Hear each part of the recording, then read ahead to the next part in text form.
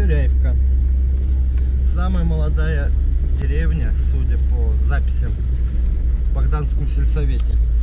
Про нее первые сведения в 1911 году. Вот это вот еду по Лепиловке.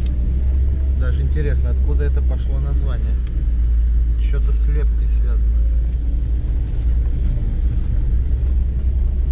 Там недавно дом сгорел.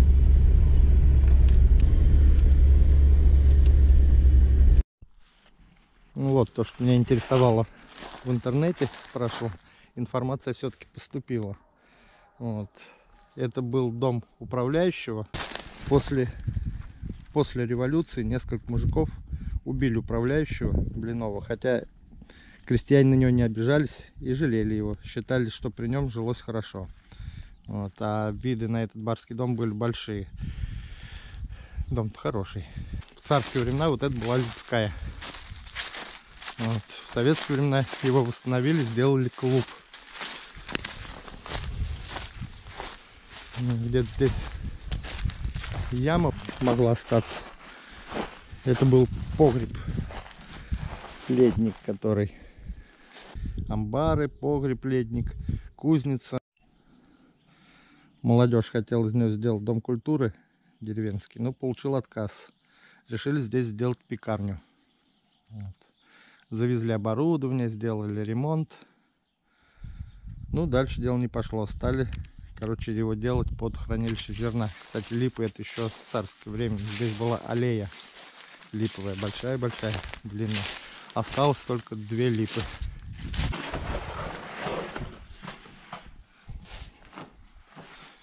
Вот такой вот домик. Крыша уже развалилась. Два этажа было вон какая трещина пошла. Скоро развалится.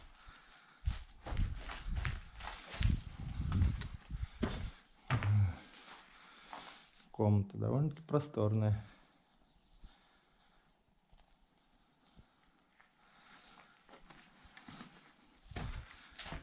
Вот он. Стена отходит. Какие трещины. Скоро рухнет. Вот, кстати, был балкон, где управляющий любил выходить чай попить на балконе, посидеть. Тут, походу, печка была. Вот система дымоходов. Удобно. И дом прогревается.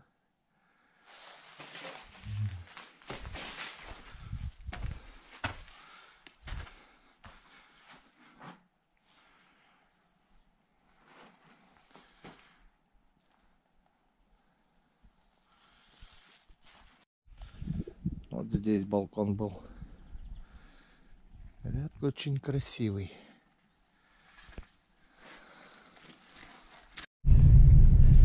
Рядом с кузницей была маслобойка. Большой амбар был разделен на две части, на два помещения. В одном лошадь ходила по кругу, приводя в движение вертикальный вал. Через систему деревянных шестерен и валов во втором помещении производился отжим масла и семечек. Вот, скорее всего, масло было холодного отжима. Туда часто ходили, брали жмых. Он первый был очень вкусный, самый. Его разбавляли сахаром и ели как халву. Напротив барского дома были погреба. На стене этих зданий показывали кино. Прямо на улице.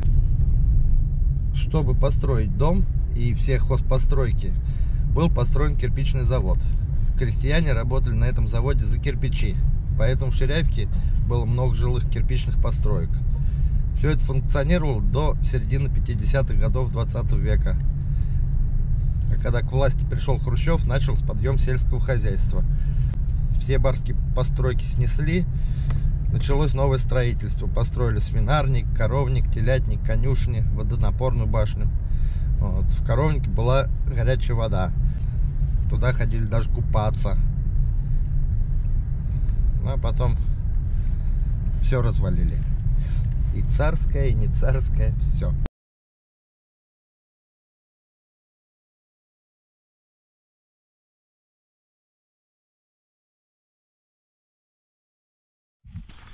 Вот это вот была школа царские времена. Причем самое интересное то, что она была первая в Богданском сельсовете построена. Она была четырехклассная. Учились посменно. Первый, третий в одну смену класс, второй, четвертый в другую. Дядя с 25 года здесь учился. Моя мать с 29 учила. Четыре класса было. шесть классов. И учились в две смены, правильно? Да. Первый, третий, второй, четвертый класс. А парты стояли по одной стене и, И по второй второй. стене. Ну, я, видишь, как А. все знаю, Ну, подготовился. конечно, тут все учились.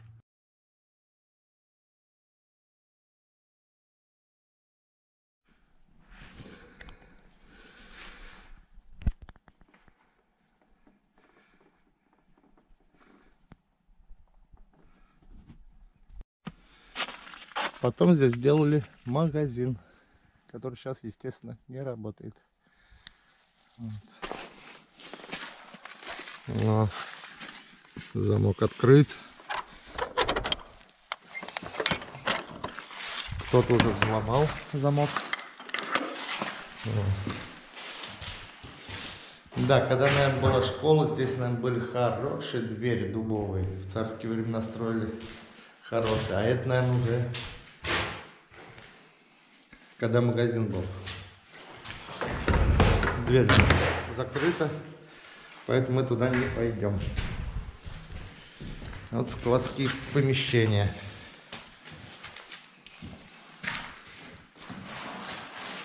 Ну, а тут, походу, дверь была. Когда-то.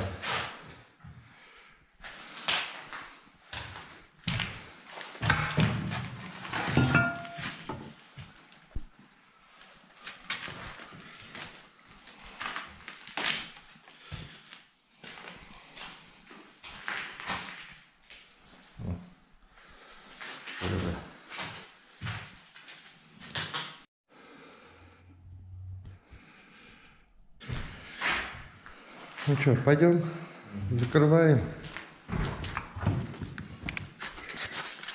Закрывай обратно на замок, все как было.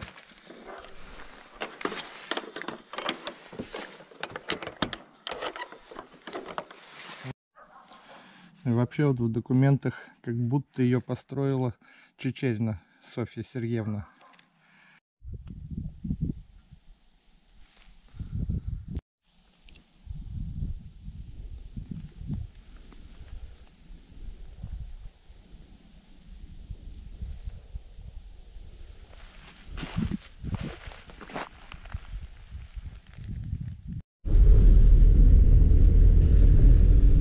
Еще деревня Ширяевка знаменита двумя людьми. Они в мировом масштабе знамениты. Один из них Артюхин Евгений Тимофеевич. Он заслуженный мастер спорта по греко-римской борьбе, двухкратный чемпион мира, четырехкратный победитель международного турнира памяти Ивана Поддубного. Его честь названа спортивная школа в Ржаксе и поставлен в Ржаксе же памятник ну, боксерской перчатки.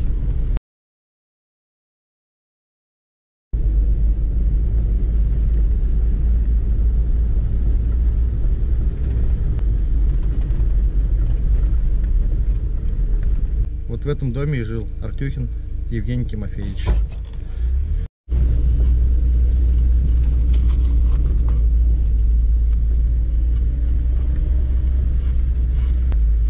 Здесь еще родился и вырос один известный человек. Это Конкин Михаил Иванович. Он известный ученый, философ, член-корреспондент Международной славянской академии, профессор Российской экономической академии имени Плеханова. Ну и плюс еще он был ветеран Великой Отечественной войны. Вот в этом доме и жил Конкин Михаил Иванович.